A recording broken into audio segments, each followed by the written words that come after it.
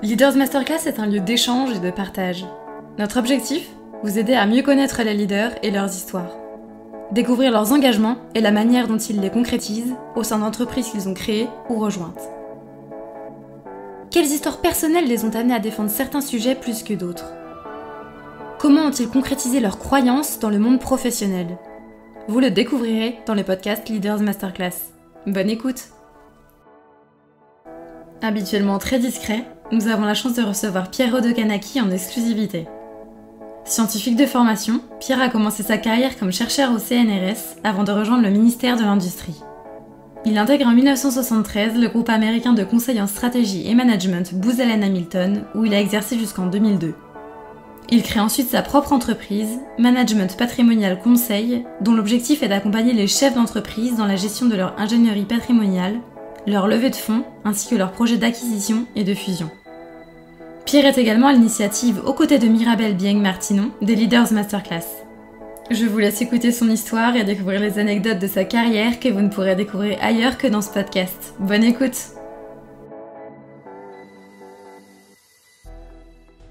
Je suis Pierre Rodokanaki, je suis un ancien Senior Vice President de la Société internationale de conseil en stratégie Booz Allen Hamilton. Je suis l'ancien président de la Chambre de commerce américaine à Paris. Je suis le fondateur de Management Patrimonial Conseil et le cofondateur des Leaders Masterclass. J'ai été un, très mauvais élève pendant une grande partie de ma scolarité, disons jusqu'en troisième, je n'étais bon qu'en sport.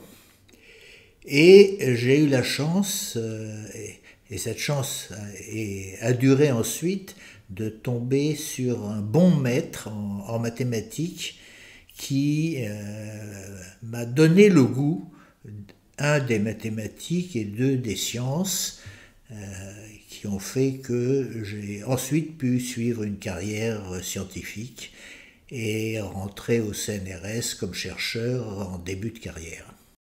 Chercheur au CNRS, j'ai été mis à la disposition du Premier ministre pour rédiger, être le rédacteur en fait, d'un comité qui rédigeait le cinquième plan recherche. Le cinquième plan recherche couvrait la période 1966-1970.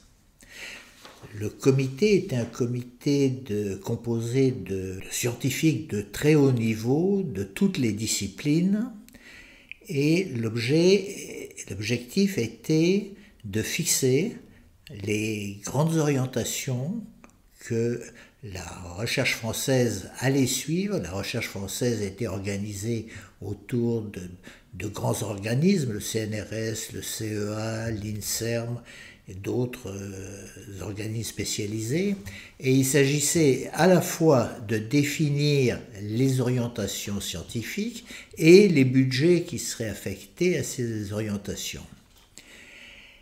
Le comité a suivi mais les recommandations de son rapporteur, que j'étais, euh, qui ont été nouvelles et différentes. Jusque-là, l'organisation des sciences était par grandes disciplines, les mathématiques, la physique, la chimie, la biologie, et nous avons proposé de casser ces structures verticales et au contraire d'avoir une approche horizontale, euh, les sciences de la vie, les sciences de l'homme, les sciences de l'environnement, et ainsi de suite.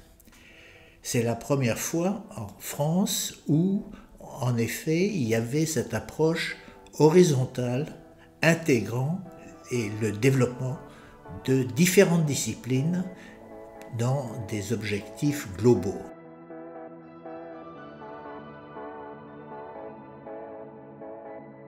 Après dix ans dans la recherche et la gestion de la recherche, je suis passé de l'autre côté, c'est-à-dire en effet dans un groupe anglo-saxon à dominante américaine de stratégie et de management. Et la, seule condition que j'avais mise à, à l'entrée dans ce groupe était de partir aux États-Unis, d'être transféré aux États-Unis pour apprendre effectivement ce métier là où il avait été inventé. Après quelques années, une des missions qui m'a le plus frappé a été celle que nous avons menée pour le groupe General Electric. Le président de ce groupe s'appelait Reginald Jones. Il était en place depuis cinq ans à la tête de General Electric. Il avait transformé ce groupe qui était un, groupe très diversifié, un conglomérat, dans lequel il y avait l'exploitation de mines, il y avait des forêts, il y avait des sociétés euh, industrielles dans différents domaines, de chimie, de euh, plastique, d'énergie. Reg Jones était considéré comme un des grands patrons la société devait faire à l'époque environ 15 milliards de dollars de chiffre d'affaires, ce qui était au début des, années 70, euh, qui en faisait une société très visible et leader aux États-Unis. Euh, Reg Jones a appelé Booz Allen, euh, et donc je faisais partie de l'équipe qui, qui était venue à Greenwich au siège de la société en posant une question toute simple qui était je dépense un milliard de dollars par an en recherche et développement et je ne suis pas satisfait des résultats obtenus. Nous sommes dépassés par les Japonais, nous sommes dépassés par les Allemands, nous sommes dépassés par les Hollandais. Donc je voudrais que vous, Booz Allen Hamilton, qui avez une compétence reconnue en matière de technologie, vous fassiez un audit de nos activités de recherche et de développement et que vous reveniez en me disant qu'est-ce qui ne va pas, qu'est-ce que je dois modifier pour que ce milliard de dollars que j'investis chaque année dans la recherche et le développement, finalement, donne les résultats que j'en attends. Nous avons donc interviewé l'ensemble des, équipes à tous les niveaux euh, de General Electric et nous avons interviewé les principaux grands groupes internationaux qui étaient en pointe en matière de recherche et développement. C'était par exemple Thomson CSF en France, c'était Philips en Hollande, c'était Siemens en, Allemagne, c'était euh, deux ou trois sociétés japonaises et euh, l'équipe très restreinte de, de nous étions à l'époque quatre partenaires pour mener cette, cette mission, euh, se réunit à New York pour préparer le rapport final. Et nous ne trouvons rien. Après avoir analysé, est-ce que les, les, thèmes de recherche sont les bons thèmes de recherche? Oui, les thèmes de recherche étaient les bons thèmes de recherche. Est-ce que les moyens financiers alloués à ces thèmes de recherche étaient les bons thèmes de recherche? Les bons moyens financiers? Oui.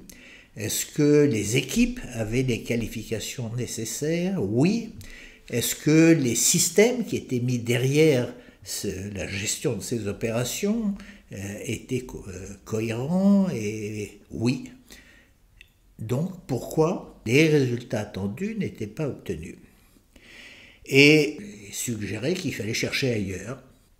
Et nous avons identifié le fait que Reginald Jones, Reg Jones, était de formation financière et qu'en fait, il avait infusé dans la société cette approche financière prudente et donc le manque de volonté de prendre des risques. Le message a été compliqué à faire passer. Euh, Ray Jones nous a convoqué un vendredi soir, vendredi à fin d'après-midi, au siège à Greenwich pour que nous lui présentions notre rapport. Donc nous étions un peu stressés, bien sûr, et nous lui avons expliqué que exactement ce que je viens de dire, les programmes de recherche sont bien adaptés à chacune des, à chacun des domaines d'activité que l'entreprise gère. Les équipes sont de qualité, les moyens financiers sont suffisants, les systèmes de support fonctionnent. En fait, le problème vient d'ailleurs, le problème vient du manque d'appétit de risque.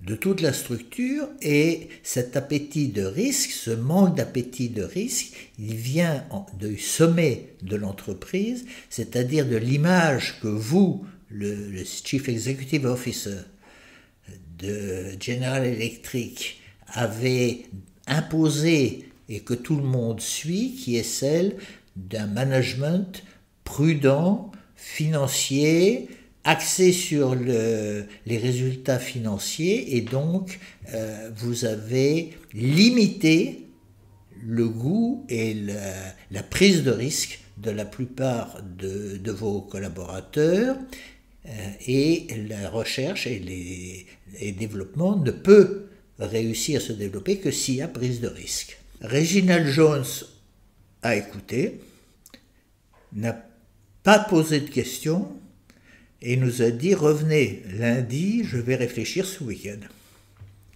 Donc je vais un billet d'avion pour rentrer à Paris que j'annule. Euh, je passe un, très mauvais week-end comme, la plus, comme mes, mes, autres partenaires.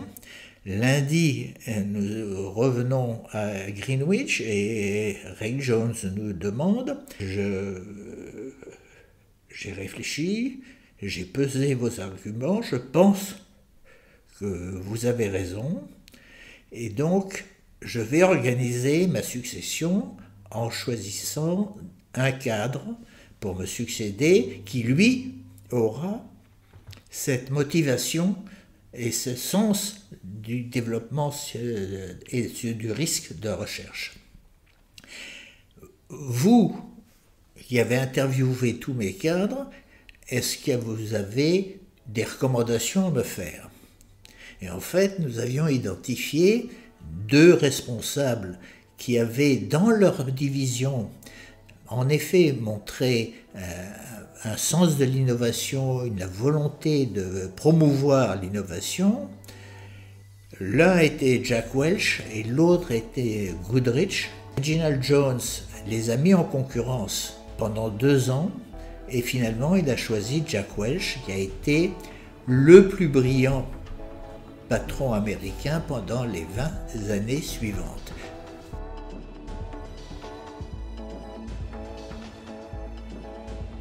Il y a beaucoup d'autres missions dont je peux me souvenir, mais il y en, a une qui m'a aussi beaucoup frappé, qui est la mission que nous avons menée pour la CLT, la compagnie luxembourgeoise de télévision, la maison mère de RTL. Au tout début des années 80, euh, la CLT nous demande d'étudier la faisabilité de la télévision directe par satellite en Europe. C'était un problème horriblement compliqué. C'est un problème qui à la fois avait des dimensions technologiques importantes. Il fallait vérifier qu'il y avait, euh, qu'on pouvait développer euh, des satellites avec euh, une puissance d'émission télévision suffisante pour couvrir les différents pays européens, ou au moins un ou plusieurs pays européens. Il fallait vérifier qu'on avait la capacité de créer des antennes au sol, c'est-à-dire ces grandes assiettes qui seraient de taille réduite, c'est-à-dire 50 cm de diamètre au maximum, alors que ces antennes aujourd'hui, à l'époque, euh, faisaient 2 mètres de, diamètre, et donc on ne pouvait pas les mettre à la fenêtre ou, difficilement sur les toits. Donc il y avait des problèmes de technologie à identifier et à, résoudre. Il y avait des problèmes de marché, est-ce que les capacités de publicité permettrait de soutenir et de financer euh, le développement et les émissions tout au long de, l'année.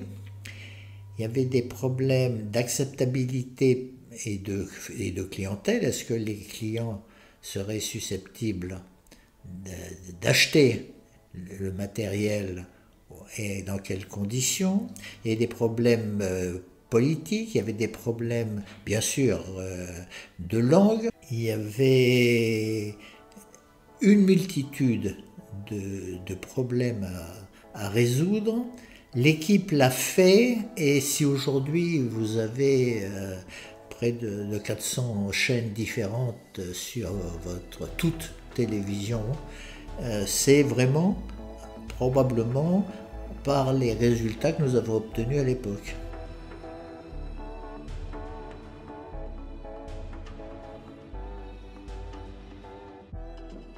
Je pense que la, gestion du succès et de l'échec, c'est, surtout ma vie sportive qui m'a, qui m'a appris à le faire. J'ai eu la chance de pouvoir être sportif de haut niveau au début de, ma carrière, les, dix premières années de, de ma vie professionnelle. Euh, et l'escrime, qui était le sport que je pratiquais, m'a appris en effet à accepter la défaite et surtout à apprendre de la défaite, de chercher pourquoi, d'où venait l'échec et de corriger ce qu'on pouvait corriger. Ceci m'a été infiniment utile dans toute ma vie professionnelle suivante. Utile parce que un échec n'est jamais irrémédiable. Never give up est un bon principe.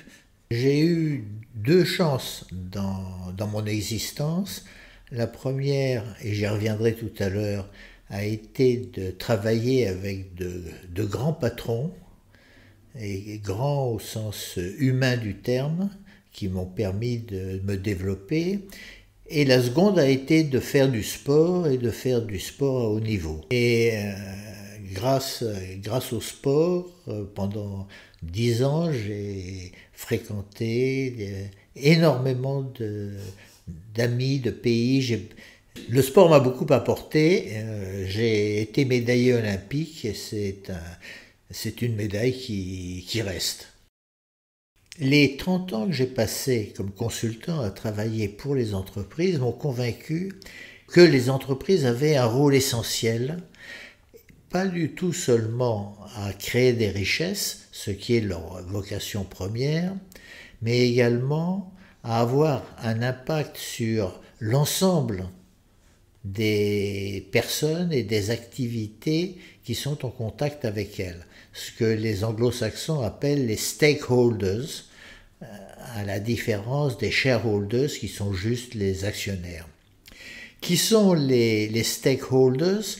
Les stakeholders, ce sont d'abord les personnels de l'entreprise, les collaborateurs de l'entreprise, ce sont bien sûr les clients de l'entreprise, ce sont bien sûr les fournisseurs de l'entreprise, mais de façon plus large, les stakeholders, c'est aussi toutes les communautés avec lesquelles l'entreprise est en contact ou les communautés qui sont plus ou moins impactées par l'activité de l'entreprise.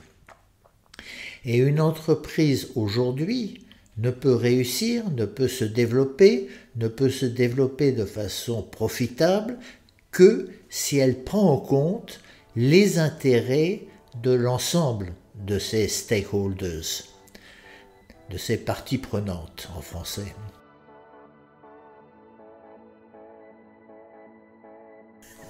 J'essaie de conserver euh, une activité à la fois intellectuelle et, physique, notamment par euh, l'organisation de séminaires, euh, les Leaders Masterclass, dans lesquels une série de, patrons emblématiques viennent partager en, tout petit comité leurs expériences, leurs échecs, euh, leurs succès, euh, pourquoi ils ont, pris telle ou telle décision et euh, comment ils, ont finalement réussi à faire évoluer l'ensemble de l'entreprise.